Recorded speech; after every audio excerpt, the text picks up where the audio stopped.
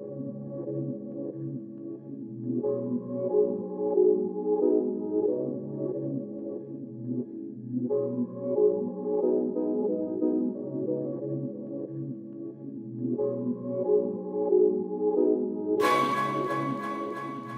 reloj marca las 7 de la mañana y las personas empiezan a movilizarse. De forma paralela encontramos a la ciudad de Cuenca limpia y lista para un día de labores. A la empresa municipal de aseo de Cuenca, EMAC, le corresponde mantener el aseo de esta urbe, estando a cargo de servicios trascendentales para la sana cotidianidad de la sociedad cuencana. Las actividades que nosotros desarrollamos son la gestión integral de residuos sólidos y el manejo de las áreas verdes. Dentro de la gestión integral de residuos sólidos, eh, nosotros tenemos lo que es el barrido, eh, la recolección, el transporte, el reciclaje, el tratamiento de los residuos reciclaje, la disposición final de los residuos sólidos. Eh, dentro de esto manejamos también residuos biopeligrosos, damos el tratamiento, la esterilización de biopeligrosos y adicionalmente tenemos una planta de biogás, captamos el, el gas metano y lo convertimos en energía. En esta ocasión abordaremos tres de estos aspectos, la limpieza y el barrido, la recolección y el relleno sanitario. En cuanto a la limpieza y barrido de calles, la empresa pública municipal de aseo de Cuenca organiza esta disposición de acuerdo a grupos de trabajo regidos a un calendario y sectorización específica. De esta forma, se cubre todos los espacios de la ciudad. Esta limpieza se realiza los 365 días del año, enfocándose en el centro histórico de la urbe. Este aseo de espacios públicos y calles inicia alrededor de las 4 de la mañana. Las labores de la EMAC se extienden hasta parroquias urbanas y rurales, situando la limpieza de estas en diferentes días de la semana, organizados de acuerdo a sus necesidades. El servicio de barrido es contratado, es decir, está sujeto a empresas intermediarias,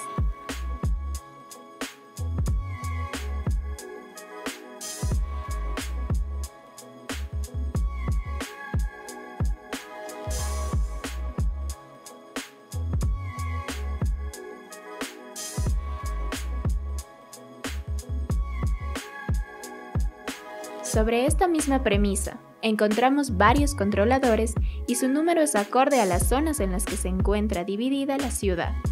Esto para el óptimo desarrollo del servicio de barrido. Otro aspecto importante dentro de esta misma arista radica en el aseo de los diferentes mercados de la localidad, pues en estos se mantienen empleados realizando labores de limpieza durante todo el día, pero en diferentes turnos. Previo a la inauguración de la jornada laboral en los mercados, los empleados se encargan de barrer y trapear los espacios correspondientes a estos. Además, recolectan los residuos de los basureros públicos que reposan en dichos lugares. Finalmente, cabe mencionar que la EMAC, por medio de convenios con diferentes entes pertenecientes al GAT municipal y directivas barriales, atiende pedidos especiales y urgentes de limpieza y barrido en el día, horario y circunstancias pertinentes. La recolección se realiza desde los domicilios y cuenta con una cobertura cantonal del 92%. En promedio se recolectan 394 toneladas de desechos sólidos. A su vez, estos terminan en el relleno sanitario de Pichacay. Sin embargo, antes de empezar con los recorridos diarios, se realiza mantenimiento a los camiones, lavando a los vehículos recolectores externamente, en la planta de operaciones EMAGP, ubicada en la avenida del Toril y Guagrauma, sector Parque Industrial de Cuenca. Para este lavado se utiliza agua del río. Este servicio cuenta con alrededor de 62 unidades para la recolección, estando estos distribuidos en diferentes sectores para cubrir la demanda de la ciudad. En cada recorrido se involucran cinco personas, un chofer y cuatro recolectores. Antes de empezar la jornada, el personal acude a una reunión organizativa en el auditorio de la planta de operaciones. En la recolección se utilizan fundas negras para los desechos no reutilizables y fundas celestes para residuos reciclables.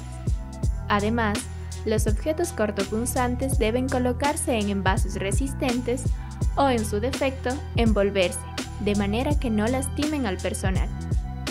Por otro lado, se incentiva que los dueños de mascotas ejerzan un mayor control sobre estas, ya que son proclives a escarbar en fundas aglutinadas. Mientras se realiza la recolección, el conductor del camión revisa el estado del depósito. Si este está lleno, tritura los desechos, liberando espacio para así continuar con el recorrido. Existen tratados como poseer parrillas metálicas para no aglomerar la basura en las calles, a diferencia de los usuarios que viven en multifamiliares como edificios o condominios, quienes deberían disponer de recolectores de almacenamiento. Estos recipientes deben ser solicitados a la empresa, teniendo estos un costo. Otros recipientes de mayor almacenamiento corresponderán a centros comerciales e industrias. Después de varias horas, se traslada los desechos de reciclaje a un camión destinado para este fin. Merece la pena señalar que existen días específicos para la recolección de material de reciclaje. Si el recolector visita su sector los días lunes, miércoles y viernes, el día indicado para depositar los desechos reciclables es el miércoles, si el recorrido corresponde a los días martes, jueves y sábado, la funda celeste deberá colocarse el día jueves.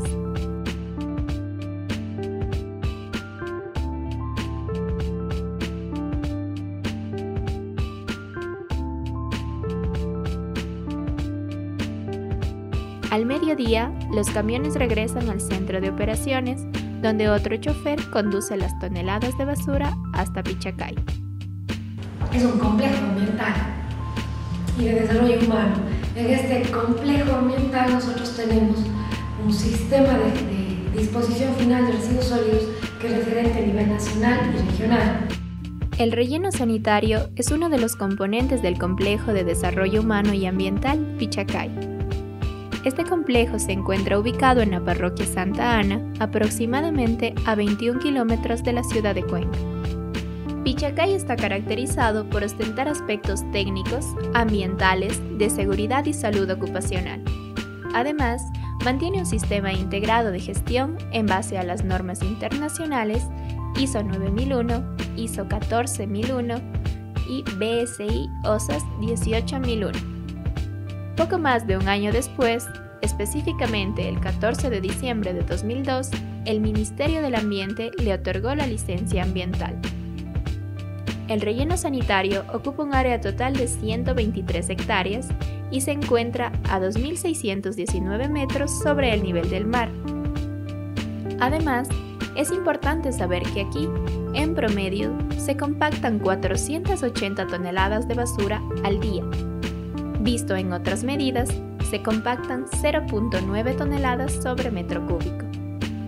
Dentro de esta misma justificación, se calcula que cada ciudadano de la zona urbana de Cuenca genera 0.542 kilogramos de desechos. Cabe destacar que el sistema de operaciones del relleno se realiza mediante contrato con terceros. Proyecto que es con una empresa mixta con Holanda, la BGP Energy.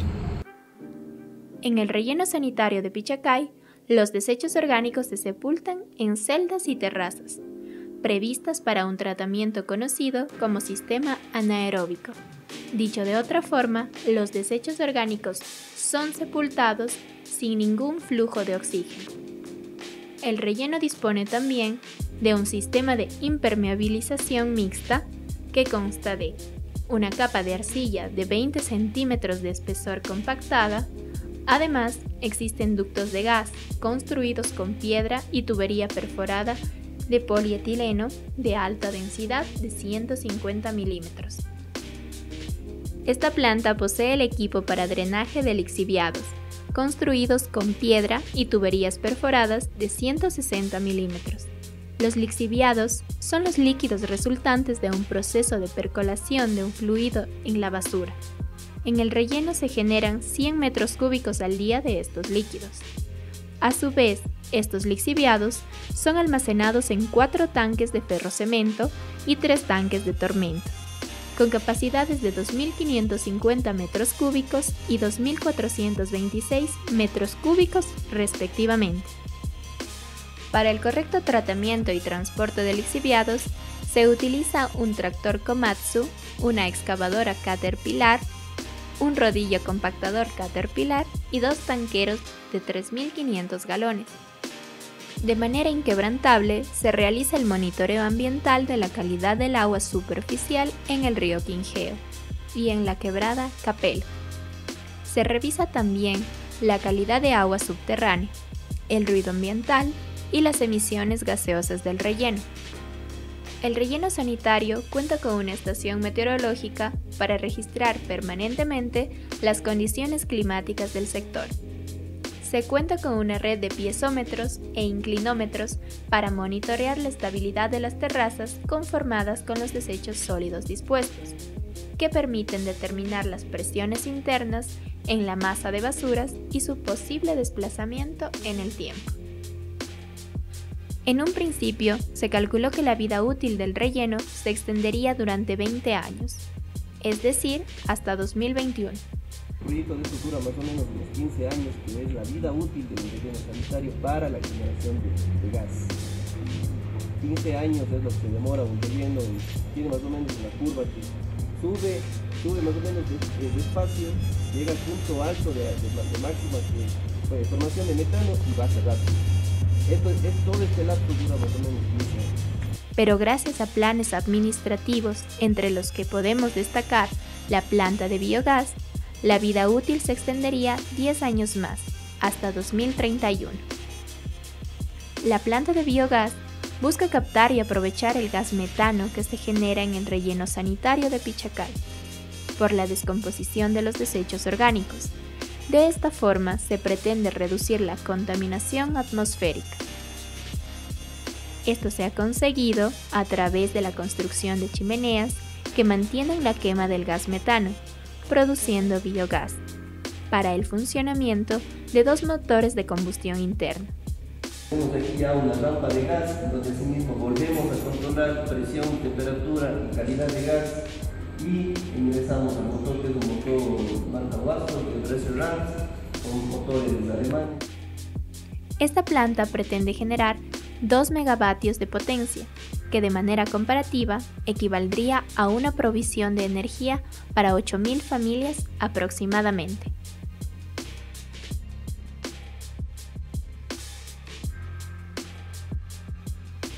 Finalmente, Dentro del complejo encontramos a la planta de esterilización que se encarga de la recolección selectiva de desechos infecciosos, con el objetivo de ejercer control y mejoramiento sobre la salud pública. Denominamos basura peligrosa a todos los residuos contaminados con sangre, fluidos sanguíneos y patógenos. Este trabajo, que requiere un procedimiento con los máximos cuidados ambientales, cuenta con la certificación ISO 9001 y luego se recupera como tal, ¿no? No sale de esta manera, cambiado el color de la cinta, pero igualmente acá, esto normal. Los principales productores de desechos infecciosos son los hospitales, consultorios médicos, veterinarias, centros estéticos, spas, locales de tatuajes, centros de radiología, farmacias, entre otros. Estos desechos son son los desechos peligrosos. Dentro de los desechos peligrosos hay una clasificación bastante amplia. Aquí la planta lo que realiza es la gestión de los desechos eh, peligrosos infecciosos, pero en sí hablamos de los biológicos. Si desea ampliar la información correspondiente a la planta de esterilización y de biogás, visita la página web www.spbl1993.witsite.com. La ciudad de Cuenca produce aproximadamente 394 toneladas de basura al día. Una cifra de tal envergadura debería cuestionar la connotación de los desechos en el espectro social, Simplemente lo que buscamos es que cada día la ciudadanía vaya ganando en conciencia, vaya involucrándose dentro de esta actividad, porque la solución no le da solamente la imagen, la solución la damos todos los que somos parte de la ciudad.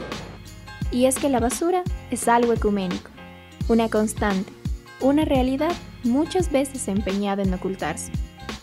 Esta y su tratamiento es un reflejo de la sociedad, de aquella materia impalpable que la compone, de la cultura que posee y ciertamente del futuro que le aguarda.